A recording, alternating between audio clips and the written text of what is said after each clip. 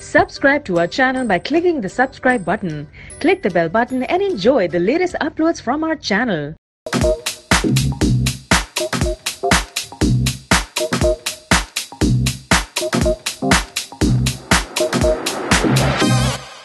वालेकुम एक और एपिसोड के साथ बच्चों की जहनी नशोनुमा के सेगमेंट के साथ मैं आपके साथ हाजिर हूँ हमें नाजरीन एक ख़त आया है, एक ऐसी वालदा की तरफ़ से जिन्होंने अपने बेटे के बारे में लिखा है।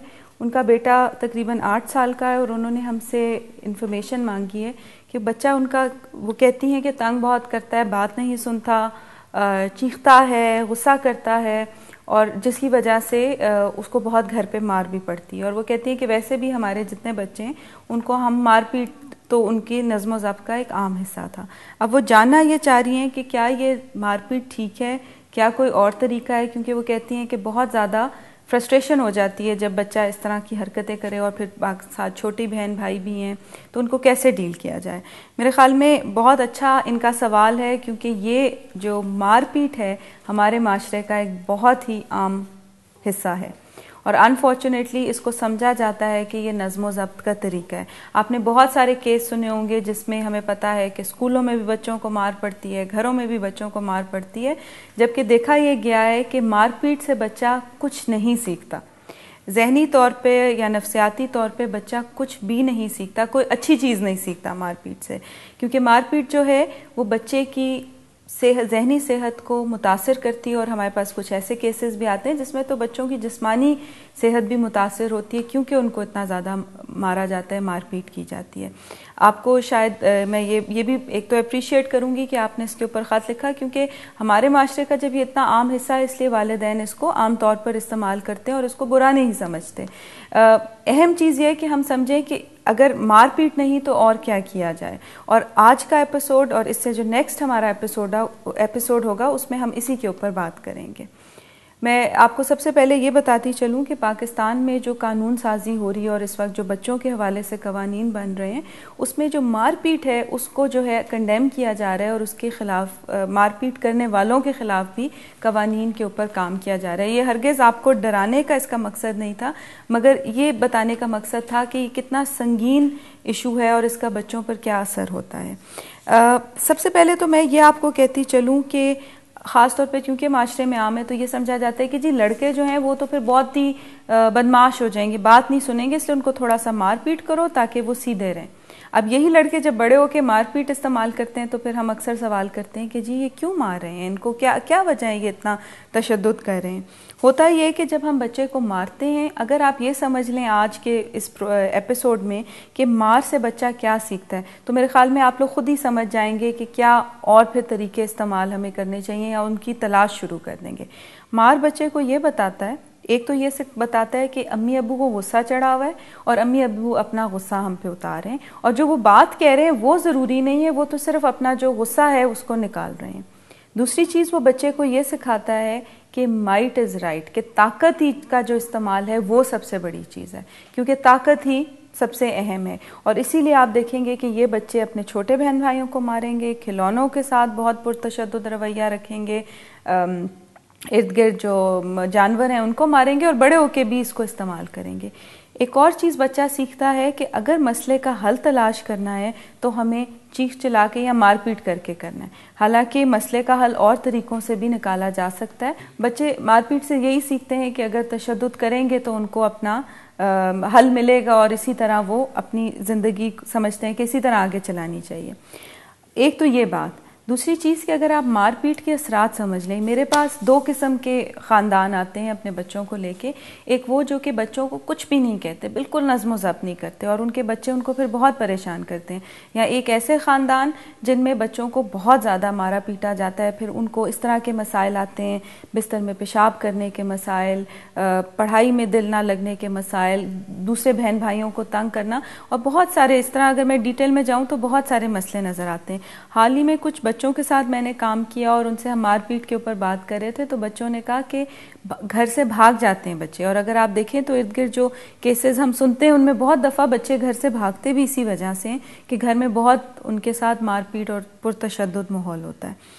इसके साथ जी अब ये मेरे ख्याल में कहना बहुत ज़रूरी है कि माँ बाप बच्चे जब गुस्सा कर रहे हैं या चीख चला रहे हैं या तंग कर रहे हैं, बात नहीं सुन रहे तो ये माँ बाप के लिए बहुत फ्रस्ट्रेटिंग होता है। ऑब्वियसली आप जो हैं, अपने और कामों में भी मसरूफ़ होते हैं और कई दफ़ा समझ नहीं आती कि क्या करें। क्योंकि एक दफ़ा मार देते हैं तो बच्चा जो है, फ़ौरन जो है, वो चुप हो जाता है। और हाँ कुछ अरसे बाद ढीठ भी हो जाता है कि फिर बच्चे पे उसका असर नहीं होता। तो इसलिए बहुत ज़रूरी है कि हम और ऑल्टरनेटिव्स निकालें और समझें कि बच्चा ऐसा बिहेव क्या करे। दो चीज़ों पर मैं फोकस करूँगी इस प्रोग्राम में और अगले प्रोग्राम में। एक, इस चीज़ पर फोकस करूँगी कि आम नज़म ज़ब बच्चों के लिए कैसे की जा सकती है, बजाय मारपीट के? और इस प्रोग्राम में ज़्यादा फोकस करेंगे कि अगर बच्चे का कोई ऐसा रवैया जिसकी वजह से आपको गुस्सा आता है और फिर आप मारपीट करते हैं तो उस उस रवैये से आप और बेहतर किस तरह निमट सकते हैं? पहली चीज़ समझने की ज़रूरत है कि क्या गुस्सा वाकई बच्चे पे आया हुआ है या गुस्सा जो है वो किसी और चीज़ पे आया है? अपनी कोई फ्रस्ट्रेशन है, अपना कोई मसला, परेशानी चल रही है और माँ बाप जो मेरे पास आते हैं, वो अक्सर इस मसले का हल जानना चाहते हैं क्योंकि वो बहुत ऑनेस्टली बताते हैं कि जी, वाकई बच्चे की गलती नहीं थी, हमें तो किसी और चीज़ पर गुस्सा चढ़ा हुआ था और हमने बच्चे पे निकाला अगर आप उसको कंट्रोल कर लेंगे तो आपका मसला आधे से ज़्यादा हल होना शुरू हो जाएगा। दूसरी चीज़ मेरे ख्याल में जो आप देख सकते हैं कि अगर बच्चा गुस्सा कर रहा है, चीख रहा है, बात नहीं सुन रहा तो उसकी क्या वजह है? क्या कोई इर्द गिर्द कोई माहौल में तब्दीली तो नहीं आई? कोई बच्चे की ज़िंदगी में तब्दीली तो नहीं आई? कोई इर्द गिर्द कोई हादसा तो नहीं हुआ? आपका, मियाँ बीवी का आपस में कोई झगड़ा तो नहीं रहता? या बहुत ज़्यादा तशद मियाँ का बीवी की तरफ़ है, जिसकी वजह से बच्चा देख के इस तरह के असरात दिखा रहे अगर उसको भी आप कॉज को समझ जाएँगे तो फिर आपका आप बच्चे के साथ उसके ऊपर काम कर सकते हैं। और हर कॉज के लिए एक मुख्तलिफ़ किस्म का काम किया जाता है। तो मेरे ख्याल में वजह जानना कि बच्चा अगर इस तरह बिहेव कर रहा है तो वो क्या है? वो एक दूसरा बहुत अहम कदम है।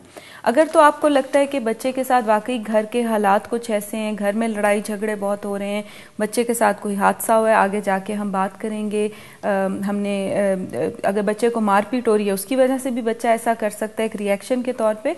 और अगर बच्चों के साथ कोई और किस्म का तशद ख़ासतौर पर अगर जिनसी नौीयत का तशद है या कोई और बात हो रही है तो उसकी वजह से भी बच्चा इस तरह का रवैया दिखाता है। अगर आपको पता चल जाए क्या वजह है तो फिर आप उसके मुताबिक उसका हल तलाश करते हो और उससे बात कर सकते हो।